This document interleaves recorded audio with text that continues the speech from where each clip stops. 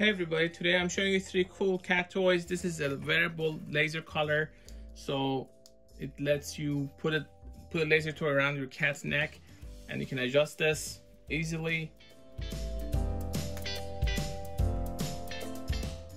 It has a rechargeable battery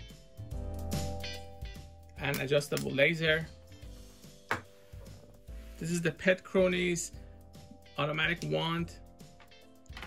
It makes random movement on the ground to grab your cat's attention.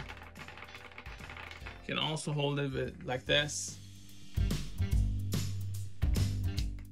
This is also rechargeable as you can see. Last but not the least is the Swinging Owl cat toy. It has room for catnip here. So you can put the bags there. It's touch sensitive, so when your cats actually touch it, it comes to life and makes this noise and movement.